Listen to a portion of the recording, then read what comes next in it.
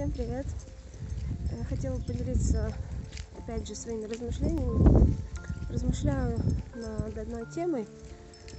Э, какая церковь правильная? И меня часто спрашивают, почему вы ходите в церковь.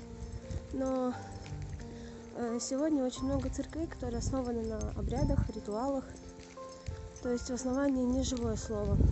Но на сегодня самая правильная церковь является, где проповедуется живое слово, где у основания стоят апостолы, пророки, евангелисты, то есть пятигранное служение.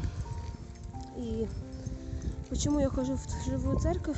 Потому что только в живой церкви я могу получить ответ, я могу получить э, благословение, которое приготовлено мне, обетование. И тем самым, исполняя волю Божию, все это можно получить. Поэтому важно сегодня разбираться в этом. Самое важное, что у живой церкви, правильной церкви, есть плоды, есть результат.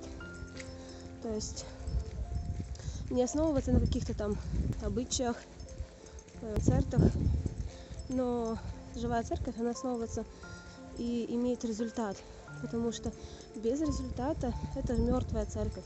Это просто как сооружение будет. Поэтому ссылку оставлю на это видео, где четко показано, чем отличается мертвый от живой. И действительно призываю каждого сегодня искать живую церковь, потому что только там возможно получить то, что приготовлено Богом.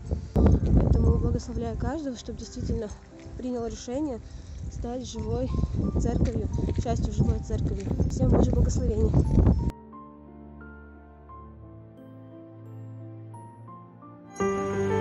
Вы думаете, церковь не нужна, ведь я с Богом напрямую. Но что говорит о церкви Бог? Важны ли для Бога церковные деноминации и национальные церкви?